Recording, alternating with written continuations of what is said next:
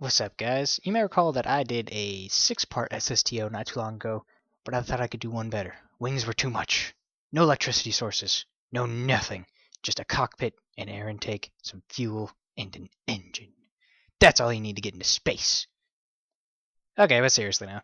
Um, yeah, I, I did this just to see if I could actually do it. Just to see if I could get something like this out into space. And I succeeded. Um, I'm going to edit this video quite a bit though because it tends to get a little bit laggy and I know you don't want to watch 40 minutes of that because that would get boring really quickly. Um, yeah. So anyway, I'm just going to start throttling up here and it's this thing is actually really easy to fly even though it's got a lack of control surfaces on it. Uh, the one thing I will say though is because it doesn't have any kind of fuel source because the Rapier engine does not produce electricity. I guess that was one of the ways they tried to balance it out a little bit. I, I don't know. All the engine, almost all the other engines make electricity. Anyway, this engine does not produce electricity, so the SAS you have to keep a very close eye on as you fly it, because um, as you can expect, it will suck electricity away. And this particular cockpit, ooh, excuse me, and good dinner. Uh, anyway, this particular cockpit uh, has only about 50 units of electricity, so you got to keep a close eye on it. Um, you're going to want to keep punching it up till about 11,000 meters, and then slowly start to tilt it over, just like any other old-fashioned gravity turn. Um, that's the direction I decided to start doing it at. But you also have to keep an eye on your air intake, just like any other, you know, airplane or whatever. And you just have to kind of gently caress it and tweak it and keep an eye on it.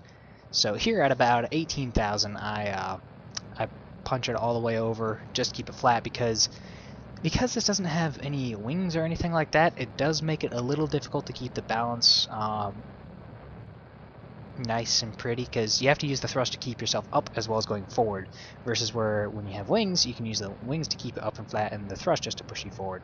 So you have to do kind of dual purpose here. That makes your drag profile a little bit not fun but you know whatever just kind of skip along the surface here. Um, yeah, I took this as a nice, ah, nice, pretty, gorgeous, artistic shot. Yeah, I love moments like this in KSP. Ah, so pretty, shiny, pretty, with fires threatening to burn my pilot alive into a crisp. It's okay, he has health insurance. Yeah, but who needs health insurance? Health insurance is overrated. Of course he's gonna make it and survive and all that fun stuff. Anyway, um, so I like to push it along as fast as I can at this point when you're hovering between the like max amount of altitude you can get while still in atmosphere and all that. Um, and I want to push it until about 14 to 1500 meters per second. That's about as fast as I can get before it burns out. And then I use the manual mode because I, I, like doing things manually. Um, and then once you kick it over to the closed in intake system, or closed system, whatever they call it, then you're going to start pushing up to about 45 degrees because you're already up there out pretty far in the atmosphere. Um, so it's not going to take that much to push it the rest of the way out.